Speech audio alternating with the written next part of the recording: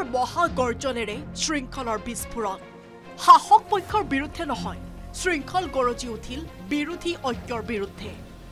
অসমত বিৰোধী ঐক্য হৈছে নে চিপ্ৰাং ঐক্য হৈছে। এই সন্দেহ প্ৰকাশ কৰিছে বীৰ লাচিত সেনাৰ মুৰব্বী শৃংখল চলিহাই আমি জাতীয়তাবাদী শক্তি মানুহ আমি অসমত কংগ্ৰেছ বিজেপিতকৈ সদায় জাতীয়তাবাদ শক্তিশালী হৈ থকাটো বিচাৰোঁ।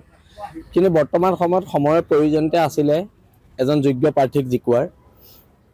কিন্তু অসমত যিটো বিৰোধী ঐক্য হৈছে সেই বিৰোধী ঐক্য হৈছে নে এইটো চিপ্ৰাং ঐক্য হৈছে মোৰ তাত সন্দেহ আছে। শৃংখলৰ মহা অভিযোগ। বিৰোধী ঐক্যৰ প্ৰতিজনেই গৌৰৱ গগৈক চিপ্ৰাং মাৰিবলৈ সাজু হৈ আছে।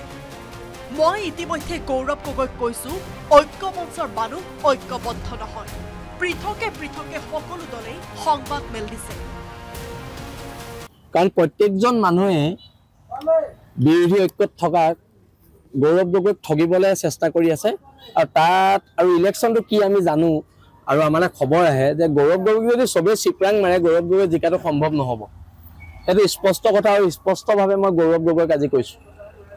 আৰু যদি ঐক্যবদ্ধভাৱে তেওঁলোকে যুঁজে তেনেহ'লে নিশ্চিত জয় হ'ব কিন্তু ঐক্যবদ্ধভাৱে যুঁজাৰ মই কোনো পৰিৱেশ দেখা নাই। কোনো পৰিৱেশ দেখা নাই। সকলোৱে পৃথকে মানে পৃথকে সংবাদ মেল দিছে।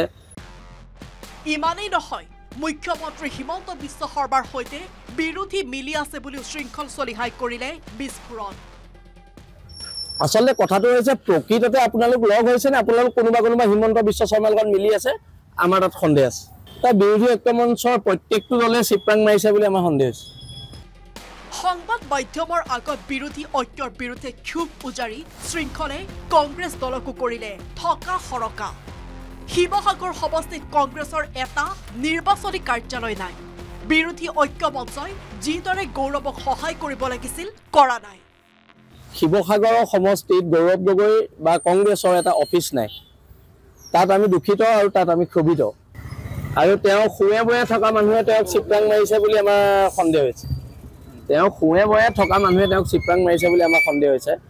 কিন্তু কথাটো হৈছে এইটো যে অসমত যদি পৰিৱৰ্তন লাগে আমি সকলো লগ হ'ব লাগিব ক্ষমতাৰ ঊৰ্ধত গৈ আমি সকলো লগ হ'ব লাগিব। গৌৰৱ গগৈ আমি আশ্বাস দিছোঁ যদি আপোনাক আপোনাৰ মিত্ৰ যদি আপোনাক চিপৰাং নেমাৰে বীৰ লাচিত সেনাই আপোনাক সহায় কৰিব। উল্লেখ্য যে একেধৰণৰ অভিযোগ শনিবাৰে কৰিছিল ৰাইজৰ দলৰ সভাপতি তথা শিৱসাগৰৰ বিধায়ক অখিল গগৈয়েও। এই আক্ৰমণ অখিল গগৈৰ প্ৰতি নেকি সোধাত শৃংখলে ক'লে অখিল গগৈ জেলত থকা সময়তো আমি তেওঁক সাতাৱন্ন হাজাৰ ভোট দিয়াবলৈ সক্ষম হৈছিলো। এতিয়া গৌৰৱ গগৈক অখিল গগৈয়ে সত্তৰ হেজাৰৰো অধিক ভোটত শিৱসাগৰৰ পৰা লিড দিয়াই দেখুৱাই দিয়ক। অখিল গগৈক বীৰ লাচিত সেনাই দিয়াইছিলে সাতাৱন্ন হাজাৰ ভোট।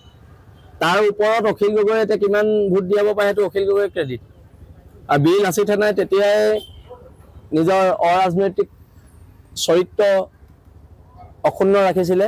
এতিয়া অখিল গগৈ যদি সত্তৰ হাজাৰ ভোট ইয়াৰ পৰা দিব পাৰে অখিল গগৈ গণভিত্তি আছে। উল্লেখ্য যে দেওবাৰে শিৱসাগৰৰ শৃংখল চলিহাৰ ঘৰলৈ গৈছিল বিৰোধী ঐক্য মঞ্চ তথা কংগ্ৰেছ প্ৰাৰ্থী গৌৰৱ গগৈ। গৌৰৱ গগৈৰ আগমনৰ পাছতে বীৰ লাচিত সেনাৰ নেতা শৃংখল চলিহাই বিৰোধী ঐক্য মঞ্চৰ বিৰুদ্ধে উত্থাপন কৰিলে চিপ্ৰাং ৰাজনীতিৰ গুৰুতৰ অভিযোগ।